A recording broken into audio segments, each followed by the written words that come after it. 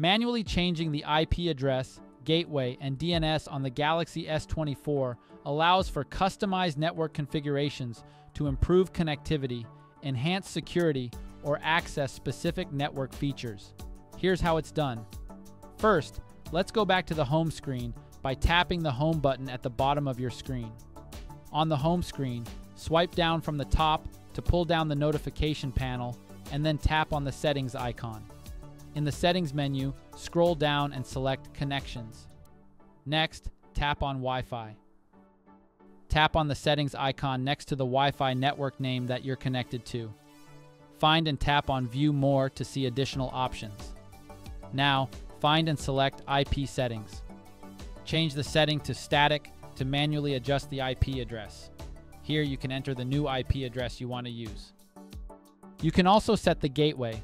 Normally, this is automatically determined when you connect to a Wi-Fi network, but if you're connecting manually, you may need to enter the correct gateway address. Additionally, you can change the DNS settings if needed. Once you've made all the necessary changes, tap on Save, and that's how you manually change the IP address, gateway, and DNS settings on the Galaxy S24.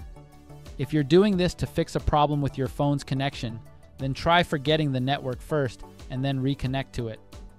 Just go back to the Wi Fi settings page and then tap the gear icon next to your network. In the next screen, tap Forget at the bottom of the screen. Now, reconnect to the network and then try to see if the problem is fixed.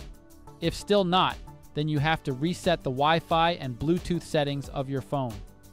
To do that, go back to the main settings page and then tap on General Management. Tap Reset and select Reset Wi Fi and Bluetooth settings.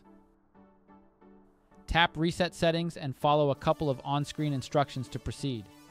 After that, you have to reconnect to the network, and that should be enough to fix the issue with your Wi Fi.